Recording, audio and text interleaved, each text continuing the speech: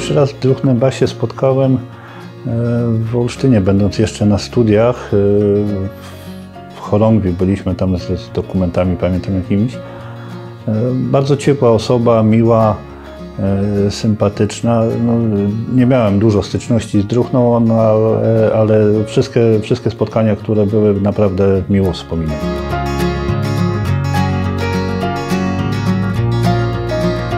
Wspólnota to przyjaźnie, e, niezapomniane spotkania z, z bardzo dużą grupą ludzi, z którymi się spotykamy na zlotach i nie tylko, bo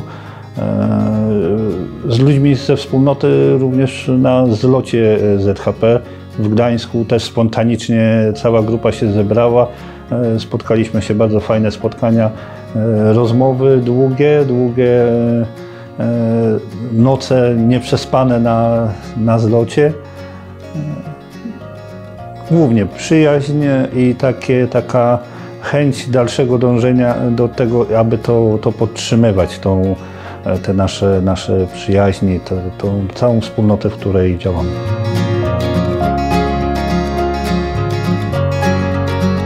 Wracając ze zlotu, e, chcę jechać na następny. Cały rok czekam i przygotowuję w myślach, jak będzie wyglądał następny zlot, jak będziemy działać, co będziemy robić, kiedy pojedziemy, jak będzie to przebiegało. Tak, wszyscy, tak po prostu chcemy, e, taka, taka wewnętrzna e, e, chęć jechania na ten zlot jest już, tak jak mówię, od, od dnia powrotu z poprzedniego. Nie wyspany, zmęczony, ale już, już planuję, co dalej, jak jechać, żeby dalej się dalej być w tej wspólnocie, dalej być z tymi ludźmi, patrzeć jak ta młodzież, którą, która uczestnikami są z lotu, jak oni się bawią, jak e, wspaniale przeżywają cały ten zlot, przeżywają e, wyjścia na pole bitwy, inscenizację bitwy, e,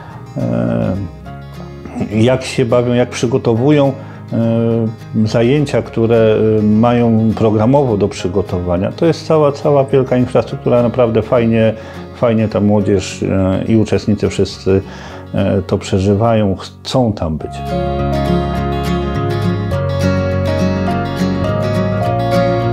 Wspomnienie jednego roku pamiętam e, e, potężną ulewę w nocy, gdzie zabieraliśmy dzieciaki z namiotów, razem z ich namiotami przenosiliśmy do naszych technicznych wszystkich namiotów. Niektórzy nawet rano budząc się nie wiedzieli, że zostali przeniesieni, a to też jest, tak jak ktoś powiedział, że e, na zlocie e, pierwszą rzeczą, z którą się zaprzyjaźniamy jest deszcz. I e, to jest prawda, bo nie było zlotu, nie pamiętam zlotu, na którym by nie padało nam.